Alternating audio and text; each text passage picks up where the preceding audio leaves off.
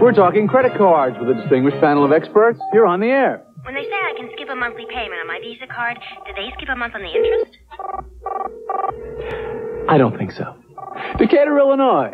Yeah, I've got a Visa card, and I think I'm still paying for a meal I ate in 1988. That's called revolving debt. May I suggest the American Express card? No interest, no revolving debt. Reno, you're on the air.